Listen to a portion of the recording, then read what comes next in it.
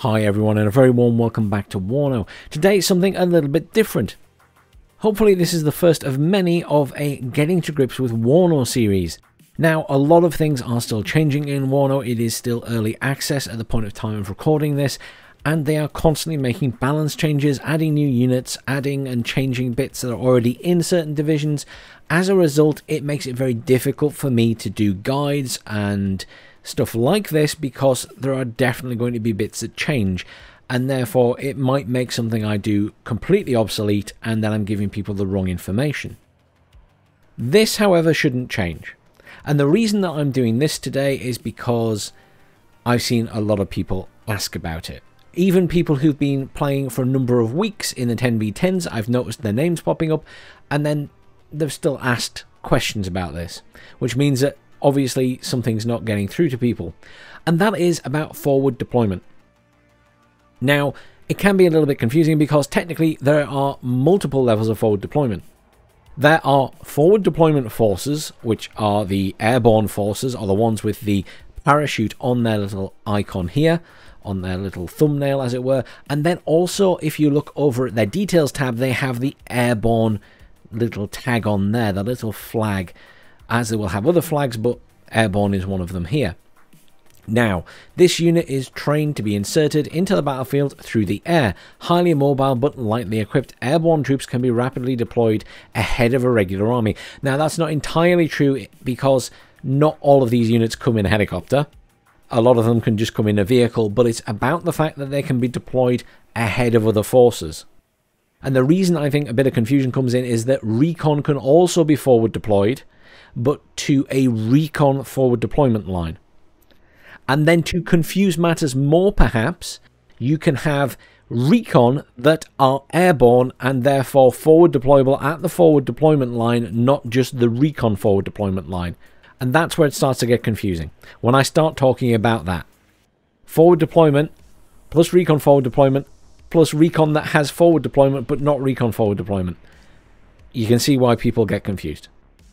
So this is basically intended to be a short video just to show this off in game.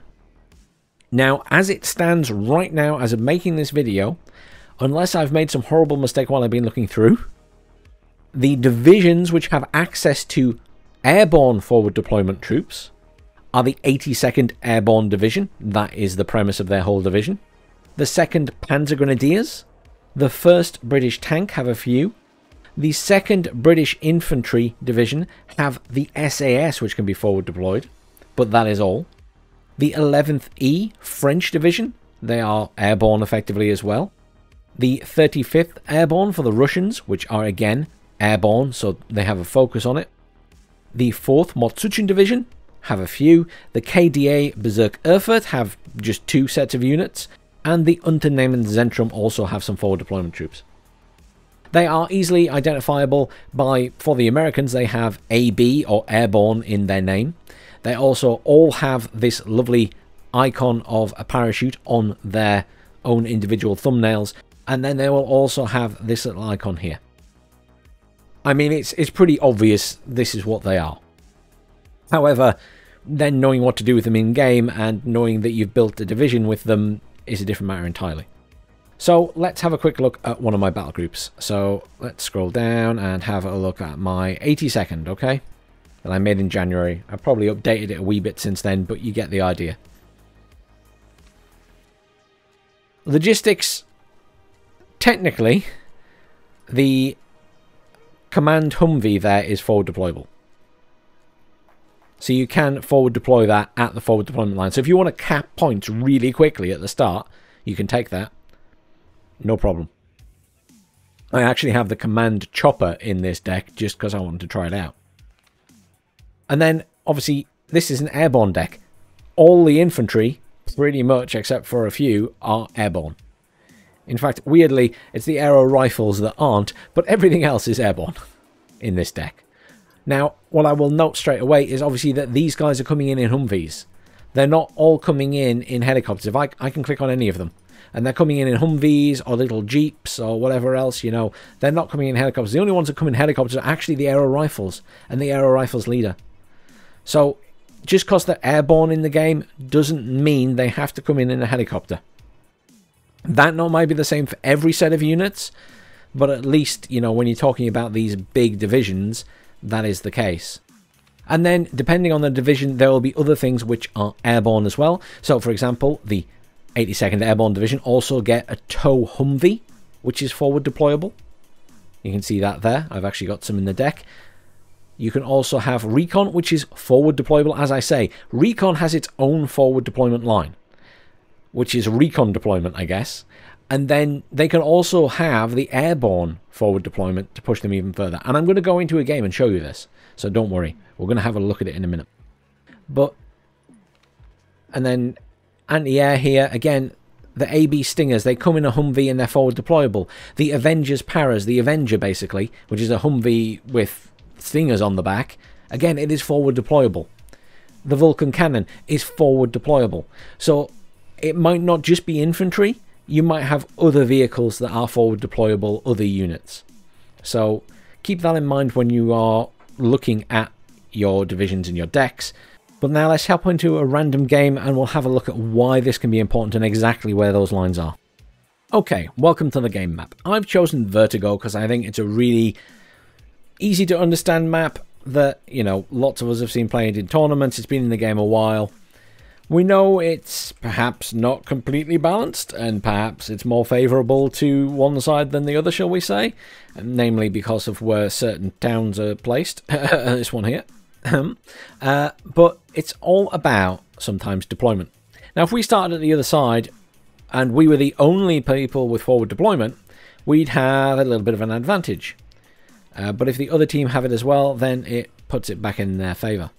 But let's have a look at deployment. So the first thing I'm going to do is point out that this is the standard deployment zone. Yeah, most people are familiar with this.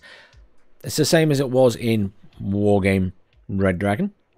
You've got this deployment zone, you can put your units in here. So I can put down, let's have a standard unit, shall we, an Apache, and I can only place it in this zone. I can't put it anywhere else. Incorrect position, can't put it anywhere else. But I can plonk it down there. Job done. Then you have recon. And you'll notice here I do have some forward deployment troops, or airborne troops, called the Airborne Scouts. But let's have a look at some standard ones first. So, obvious choice, Bradley. Great unit. Now I've selected the Bradley, you'll notice that not only do I have the standard blue square, or blue oblong, I also now have a new area around that. You'll notice it's got rounded edges, but the idea is that now I can deploy within a radius of that initial point. And this is the recon deployment radius. So you'll know that I can put stuff here, for example. So what I'm going to do is, just to demonstrate this, I'm going to put down a few standard recon units with no particular purpose other than I just want to show where these lines are. So these guys are all right on that line. Yeah, and we'll put one on that road there as well, as far up as it can go. So there we go, we've got a line across the map. That is our forward deployment line for recon. So our recon deployment line. Now, if I select the airborne scouts, you'll notice that I can put these guys even further forward now. And it's quite a chunk of distance in the grand scheme of things. I can put them all the way there. I mean, that's, you know, if we turn to the side of the map, that's a good few seconds ahead to get into alpha.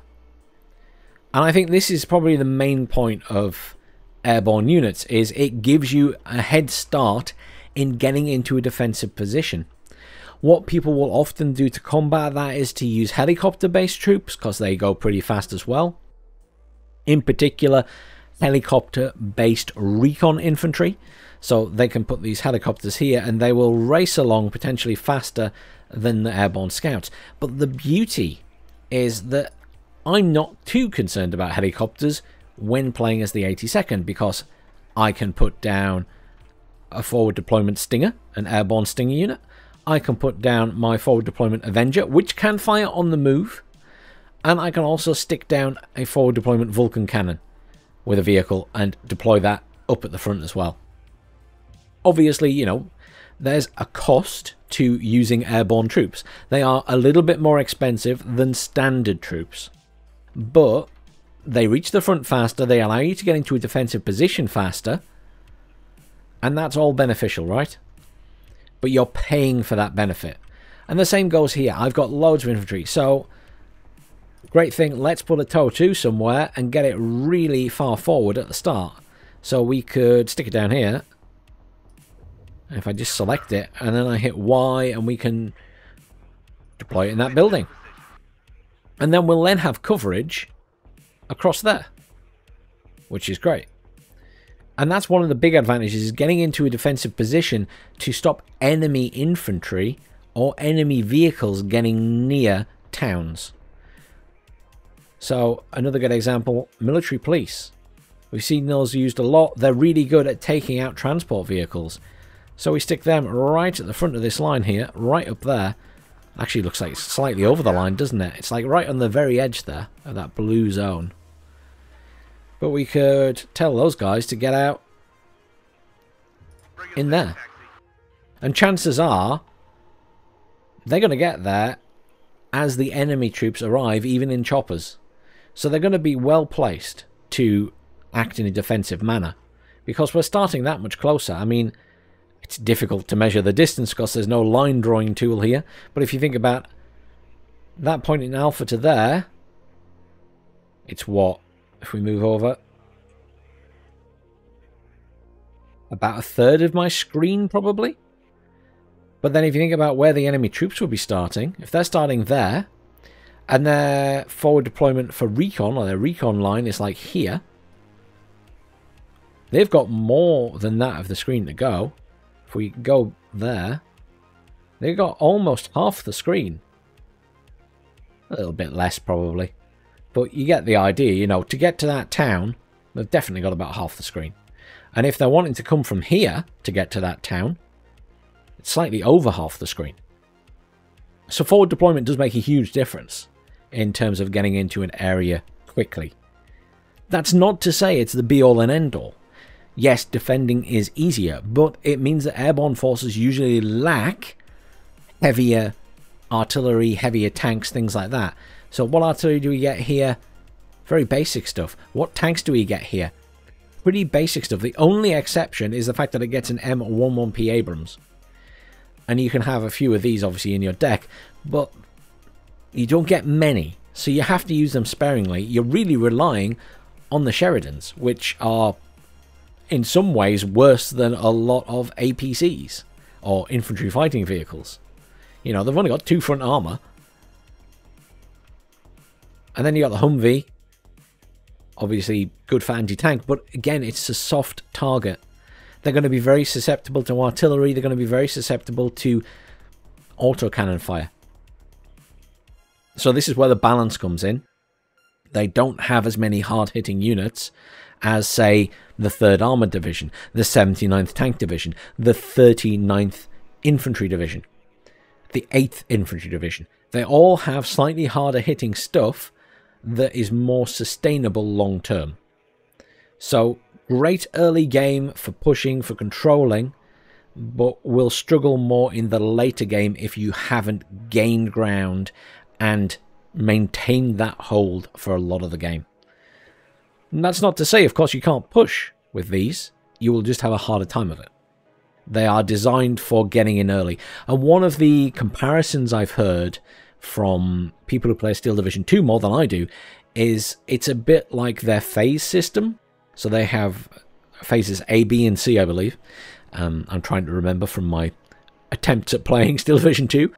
But the idea is that if you have a lot of points in phase 1, you spend more then and you get more units out in phase 1 because you're getting more income.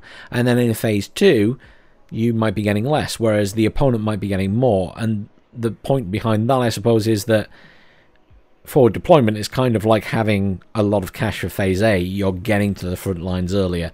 It's not the same, but people give me that analogy sometimes. So I'll go with it because they know Steel Division 2 better than me. But there you go, guys. It is pretty straightforward. It's just not truly explained anywhere for new people, so I hope this was helpful. Uh, please do like, share, subscribe. Stay tuned on the channel. There will be more guides and stuff coming up for Warno. It's just I'm really reluctant to put guides out when I know stuff's going to change. But as far as I'm concerned, this is very basic forward deployment lines, and this shouldn't change. They shouldn't be making any adjustments to this, I don't think. But I hope just seeing it and me explaining it a little bit has helped some new people out. And I know this will not be helpful at all to people who are experienced with the game, but hopefully it helps those new players out who are a little bit confused when people are talking about forward deployment. But thanks for watching everyone, and I'll see you all soon.